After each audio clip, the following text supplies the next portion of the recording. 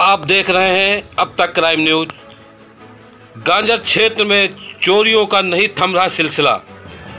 आज कोतवाली लहरपुर क्षेत्र में एक ही गाँव सेमरिया में तीन घरों में हुई चोरी। लगभग आप देख सकते हैं, सेंध लगाकर की गई चोरी। लगभग सात से आठ लाख रुपए की बताई जा रही चोरी। गृह स्वामी के साढ़े चार लाख रुपए नकदी भी हुए चोरी, क्योंकि गृह स्वामी ने ज़मीन खरीदी थी, उसी का बैमनामा कराना था, उसी लिए घर में रख रखे थे पैसे। लेकिन रात के अंधेरे में चोरों ने कर दिया हाथ साफ़। कभी सांडा छेद, कभी सकरन छेद, कभी तंबोर छेद।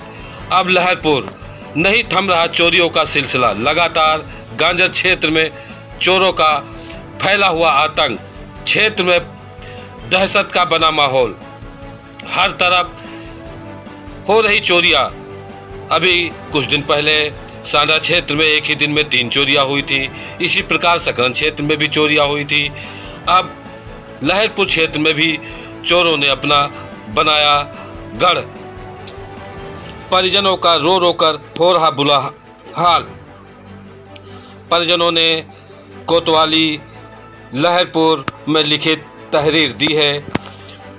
परिजनों से बात करने पर पता चला कि पुलिस ने आश्वासन दिया है कि जाँच कर उचित कार्रवाई की जाएगी। आइए बात करते हैं परिजनों ने जिनका रो रो कर हो रहा बुरा हाल। वही लोग खड़तावत रहा। रात में वही लोग चोरी किया। कौन लोग थे? और उनके भाई। कहाँ के रहने वाले हैं? वो एक का है और दो जने समझिया।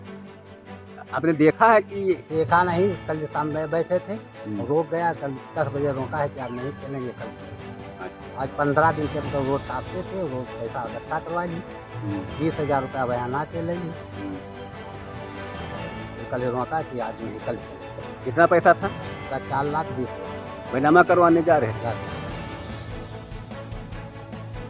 आपका नाम क्या है? प्रोग्राम कौन गाँव है? हरूरी समझिया कैसे चोरी हुई कैसे क्या हुआ? गए। दीवार हो। गया।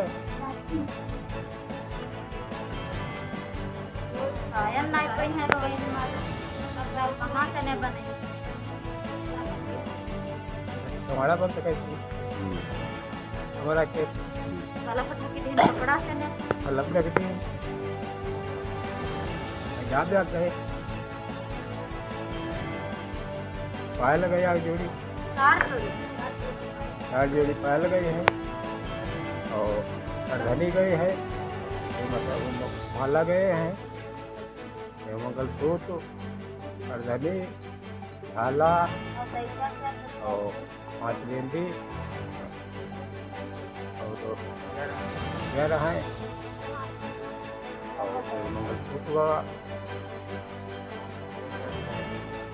दस हज़ार रुपया आपका नाम क्या है? राम जीवन कौन गाँव है? पुलिस आई थी? पुलिस आई रहा है। रखो क्या उन्होंने बताया? वो यह बताई नहीं कि पका ना है। जाँच की नहीं। कटवा ढूंढ दो। इसलिए